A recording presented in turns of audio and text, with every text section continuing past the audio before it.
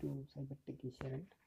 Today we are going to learn how to change the zip file.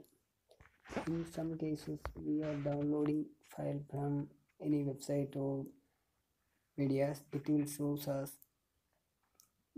zip. This file is not opening or it will not show in my our gallery so we need to change the zip file to jpg or any other format so we need need one application for it. Named as RAR you can download it from google play store then open the application. Then find out the download folder. Yeah here. Then select open the download file. Then select which file you want to convert. Select the file click on here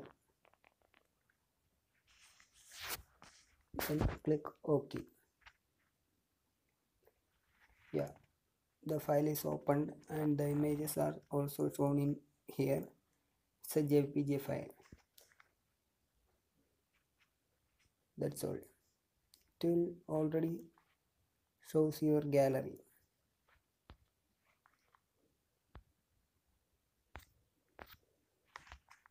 take a look.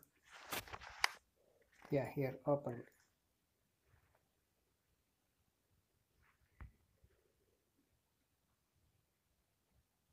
Thanks for watching